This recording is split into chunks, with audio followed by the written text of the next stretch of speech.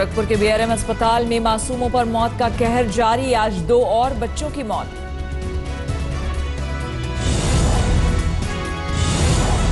छह दिन में बासठ बच्चों की अस्पताल में हो चुकी है मौत। मीडिया में खबर आने के बाद से अस्पताल परिसर में कड़ी सुरक्षा।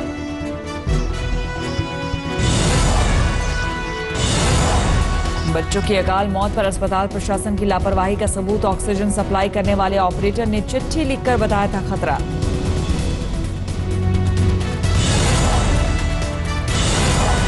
बच्चों की मौत की खबर से यूपी सरकार में हड़कम सुबह सीएम के साथ स्वास्थ्य मंत्री सिद्धार्थनाथ सिंह और चिकित्सा शिक्षा मंत्री आशुतोष टंडन की बैठक। दोनों करेंगे अस्पताल का दौरा। अस्पताल में बच्चों की मौत पर कांग्रेस खेमा भी सक्रिय है। अध्यक्ष ज्वाइंट मजिस्ट्रेट कृतिका ज्योत्सना पहुँची। बीआरडी अस्पताल मरीजों के हालात के लिए जानकारी। सियासी दौरों को लेकर अस्पताल में तैयारी तेज, डॉक्टरों की पूरी अस्पताल में मौजूदगी।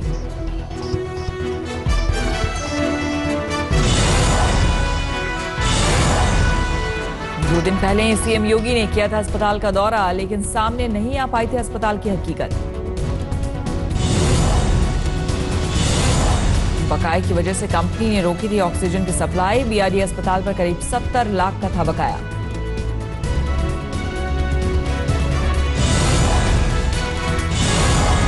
शुक्रवार सुबह साढ़े सात बजे खत्म हो गया था ऑक्सीजन। उस वक्त चौवन मरीज़ थे वेंटिलेटर पर।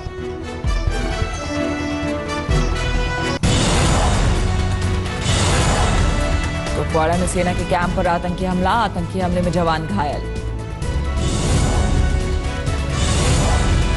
सुरक्षा बल ने कुपवाड़ा में इलाके को घेर कर शुरू किया तलाशी अभियान। पूरे इलाके को किया गया सील। पाकिस्तान ने फिर की नापाक करतूत। पुंछ के मेंढर में तोड़ा सीज फायर मेंढर में पाकिस्तानी गोलीबारी का शिकार हुई आम जनता। पाकिस्तानी मोर्टार के गोली से ढहा मकान। एक महिला की हुई मौत। जम्मू कश्मीर के त्राल में सुरक्षा बल ने एक बार फिर अलकायदा के कमांडर जाकिर मूसा को घेरा, लेकिन बच निकलने की खबर, तीन साथी आतंकी भी फरार। सर्च ऑपरेशन जारी।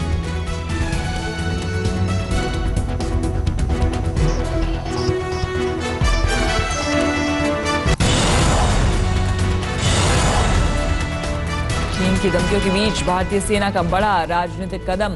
सिक्किम में अरुणाचल तक चीन बॉर्डर तक सैनिकों की संख्या बढ़ाई।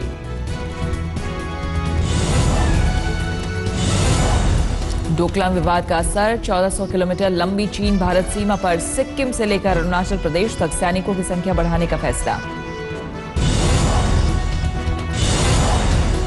चीन के साथ आज मेजर जनरल स्तर की बातचीत रही बेनतीजा। सेना ने असम और अरुणाचल के बेस में तैनात सैनिकों को किया अलर्ट। बिजनौर में आयुष मंत्री अतुल गर्ग पर हमले के आरोपी के पिता की मौत पर हंगामा, पुलिस पर प्रताड़ना का आरोप।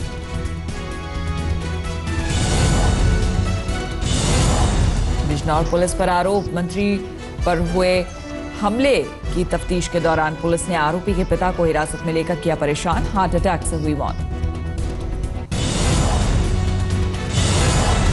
जेडीयू नेता शरद यादव ने सीएम नीतीश से खुली बगावत का किया ऐलान। बोले, बिहार में है दो जनता दल। शरद यादव ने कहा, बिहार का एक जनता दल सरकारी और दूसरा जनता का।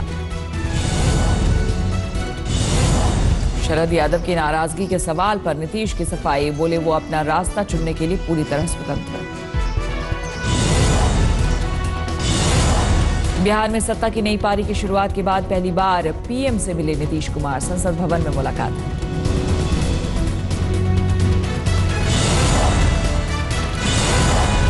लालू यादव ने मांगा बिहार के डिप्टी सीएम सुशील मोदी का इस्तीफा। भागलपुर के चिटफंड कांड में घोटाले का मढ़ा आरोप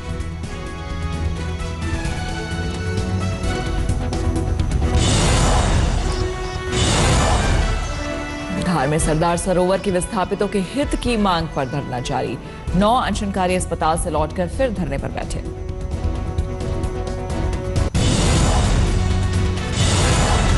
योगी राज में अलीगढ़ में दो सगे भाइयों की हत्या पर बरपा हंगामा सुरक्षा बल पर जमकर किया गया प्रथाव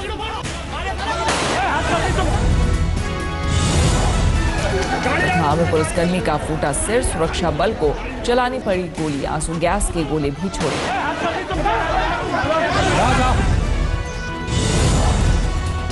पुलिस और राफ की टीम ने हंगामा करने वालों को दौड़ा दौड़ा कर पीटा। मुश्किल से पाया जा सका हंगामे पर काबू। वनिका कुंडू छेड़खानी केस के आरोपी बराला और दोस्त आशीष की दो दिन की रिमांड आज खत्म कोर्ट में पेश करेगी पुलिस।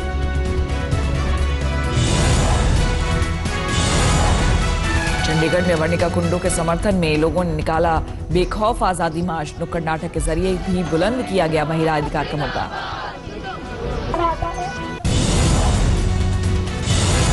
राजस्थान के प्रतापनगर में करीब ढाई अरब रुपए के अमोनियम नाइट्रेट की खेप पकड़ी गई। सरगना अविनाश बाहेती इंदौर से गिरफ़्तार।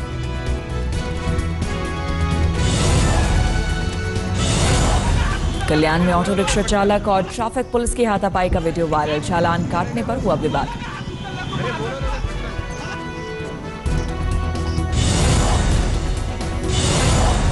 वासी में आदिवासी आश्रमशाला में 11 छात्राओं की सेहत बिगड़ी।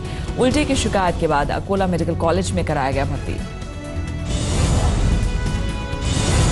ललित मोदी ने क्रिकेट को कहा अलविदा। नागौर क्रिकेट संघ ने से दिया इस्तीफा। मोदी ने कहा, नई पीढ़ी को मिले मौका।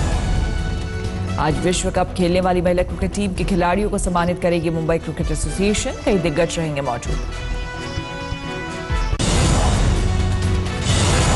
शाहजहांपुर में जुआ खेलते वक्त पुलिस को देखकर युवक ने नदी में लगाई छलांग, हुई मौत, लोगों ने किया हंगामा।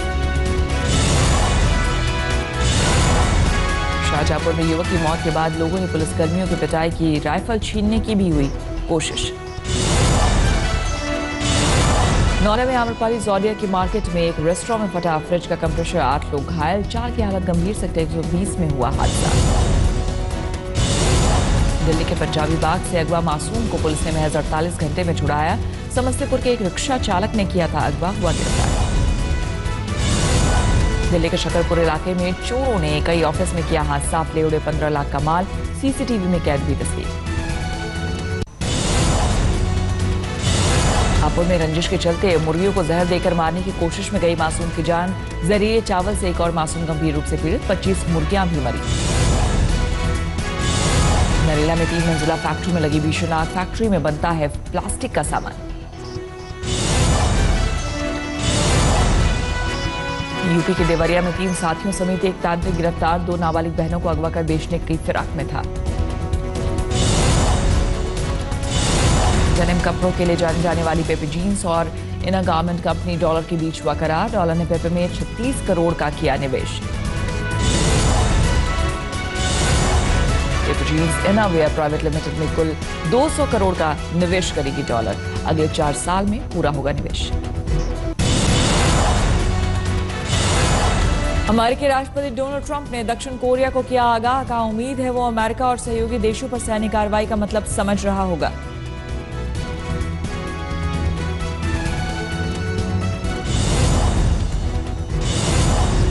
अमेरिका और उत्तर कोरिया के बीच बढ़ते तनाव ने चीन को किया परेशान, दोनों देशों को दी संयम बरतने की नसीहत।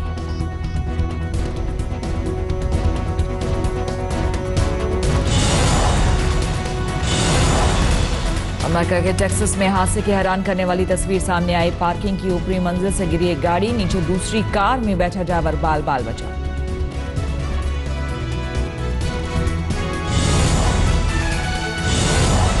मिस्र में दर्दनाक ट्रेन, हादसा, छत्तीस लोगों की मौत, सौ लोग घायल।